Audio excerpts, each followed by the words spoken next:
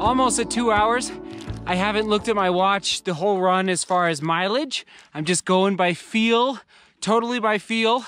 You know, I'm gonna guess I'm at about 13-ish and uh, the goal is to go at least 15 today, maybe 16 or 17, just going by feel. And right now, like just now, in the last five minutes, my legs are starting to say, I'm a little tired, time for a little snack, out on the trails, a little bit, a little bit more water. So uh, anyway, that's just what we're doing out here. I'm back actually at the Black Bear Gate. I still can't believe that it's closed till July 31st. That's not gonna happen.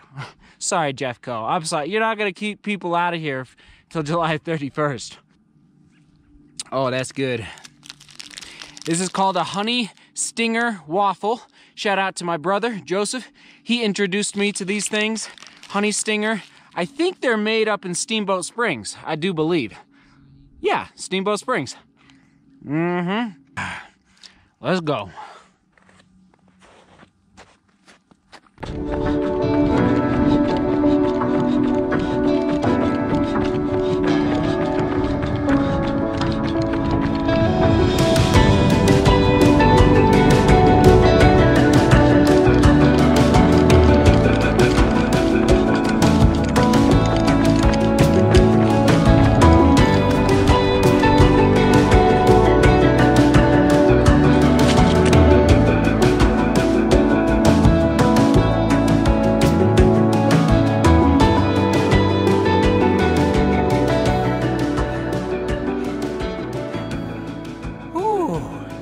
16 and a half miles.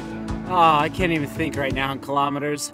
Let's see, 10K, 20K, uh, let's just call it, let's call it 25, 26, 27K. Let's just go there. Let's go there, everybody outside the US. All right, felt good.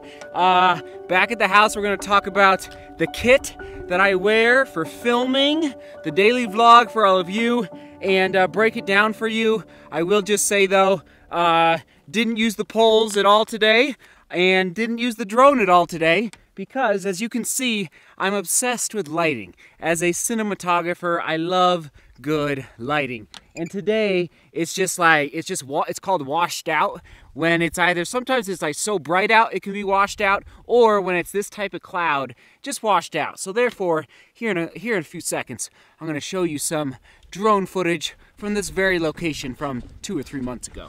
Uh, so I was really, really focused today on the trails on making sure that I didn't care what the pace was, didn't even really care how far I, I had run, a little bit, but like I wasn't looking at my watch, but I was very, very focused on my cadence, my foot strike, and just making sure that my turnover was staying as, frankly, as fast as, as I could in the conditions today.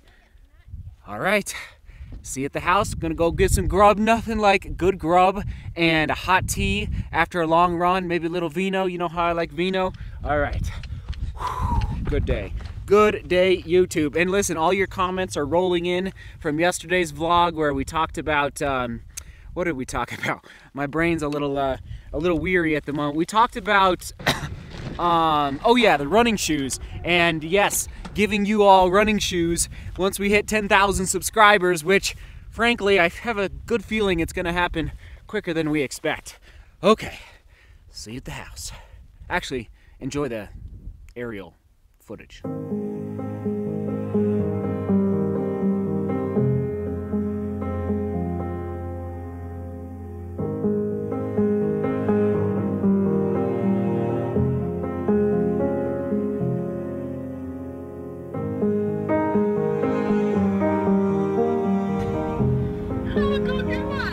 It's going well. I'm on my way home. I was wondering if you could start the tea kettle in like five minutes. Oh, yes, I can. Oh, brilliant. Oh yeah, cause it's like it's kind of cold out and it, nothing like a nice hot tea. What? You were okay. And I'll throw the pizzas in there ready to go. They take about 10 minutes. Oh, butter my butter my bread. That's what I'm talking about. Pizzas for dinner.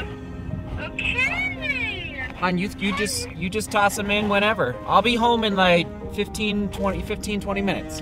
That's perfect. Okay, I love your gut. Okay, mwah. Okay, bye. Ciao, ciao. Ciao.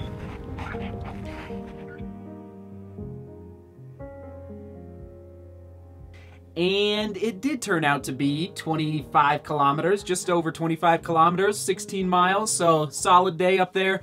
3,100 feet of vertical gain, uh, 1,000 meters, but a little under 1,000 meters. We will take it. Uh, okay, we're gonna get to the kit in one minute, but first I gotta tell a little story. I am beyond impressed with the diversity of running backgrounds that are here on this channel. This is not a trail running daily vlog. This is not a marathon training daily vlog. This is not a track running. And I just, I'm blown away by the diversity of backgrounds and, and, disciplines within running that I am seeing in the comments, on Strava, on DeMoor Global Running. Like, I can tell there's a lot of different types of training happening out there. Uh, for example, I, I can see that there's some high schoolers out there that are getting ready for track season and it looks like you're slowly starting to get a few workouts under your belt, which is exciting.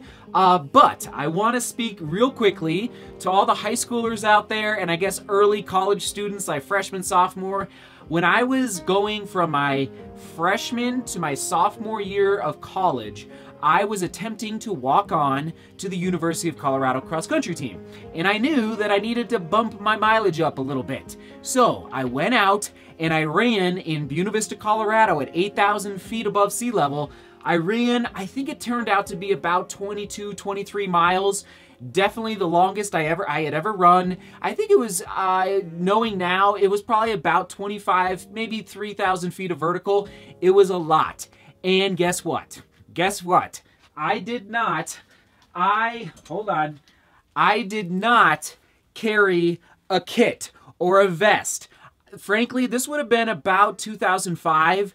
Did vests even exist in 2005? I don't, maybe CamelBak. Remember CamelBak, everybody? So, I tell that story because high school runners out there, college runners, believe it or not, there is an entire genre of running that exists in the world that focuses on long, long distance running and I didn't I didn't even know about it when I was in college. So I'm just trying to shed a little light on it to all of you. And what does it mean? It means you need to hydrate. And I I uh, I didn't I wasn't about to die, but I was about to oh, I don't want to say even black out, but I was really, really in bad shape. I like, I didn't carry any water. There was no streams. I just went out running. I, you know, it's like in high school, you just go run. And this was a, I guess I was early in college, but it was, it was way too long to go out there in the summer with no water. I just, I, I, what? I just went for it. I just went for it. I, I, I tend to do that sometimes. So, with that said, be careful, high schoolers, be careful, college students, and yes, there are these things in the running world called uh, you I, in Europe, I often hear them called uh, a kit. So, like, you have your kit of running gear, meaning all, like, everything that is in this vest would be considered an entire kit. And for me, uh, I want to focus specifically on breaking down, what you're going to see on your screen right now, I'm laying out all of the gear that I carried today. I'm actually going to go inside and I'm going to weigh it, because I, I actually don't even know how much all this stuff weighs. But I'm getting a lot of emails and a lot of uh, comments about how the heck do I film all of these running vlogs. Well, you gotta have a vest. And what type of vest is this? This is a Raidlight vest, a Raidlight. Raid Light is a French company, a French company, and I, frankly, this is not your lightest vest out there on the market by any means, but I tell you what, and the fabric is a little, it's a little rough, a little, you get used to it. It doesn't give you, uh, like, ro like rashes or anything like that, but it's not as soft or supple as maybe like a Nathan or a Salomon. Um, but I tell you what, I nailed it. I bought this vest before the Run Rabbit Run 100 last summer, and the storage in this thing is perfect for filming the daily runs for all of you. And as you can see on your screen, like, it just has pockets upon pockets upon pockets, and I love it. I can fit the drone in there, which I didn't even use today. Uh, you can fit, I, I fit the GoPro in here with a gimbal. And listen, every day when I go out running, I have to ask myself, okay, how much weight do I want to carry today? And listen, when I'm getting ready for the marathon, I'm gonna rock. I'm gonna rock some tempo runs. You better you watch out. I'm gonna throw on those Nike 30 Peg 35 turbos, and I'm gonna do some pretty serious tempo runs. I will not be carrying a vest. I won't carry a GoPro. And yes, I'll have to figure out a way to go back and get some footage afterward because when I'm running fast, like you gotta be lightweight and you just gotta boom, you just gotta focus and go for it. And this is the three liter model from Raidlight, three liters, so it can carry quite a bit. Uh, and even poles, like that's one of the reasons why, even though I ended up not using these poles in the 100 mile race, because you're not allowed, and I didn't know that. But I have these Leki poles, love these things for crazy off-trailed uh, terrain, and I will be giving you a full review of these poles very, very soon. Stay tuned for that. Um, and I realized, actually, I have never given a full review of this vest, so that'll be coming soon as well for all the trail running enthusiasts out there, the ultra runners. I know you're out there. Uh, so, anyway, Today, I had the bladder. I had about a half a liter of water, so not too much. It's amazing. Isn't it amazing how much more water we drink on our long runs in the summertime compared to the winter? I should probably drink more, but I, I, knew, I know myself pretty well. Like a half a liter was perfect today, uh, given the temperatures and the cloud cover.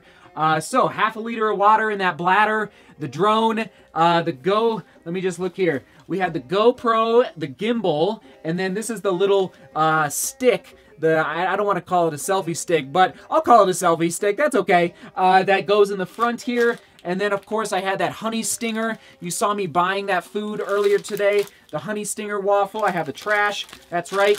Leave no trace out there, folks. And then, in addition, this remote control, which is a little bulky, I'll be honest, from DJI, which flies the drone, so I can get those pretty uh, sweet aerial views for all of you when I'm out there exploring the beauty. All right, okay.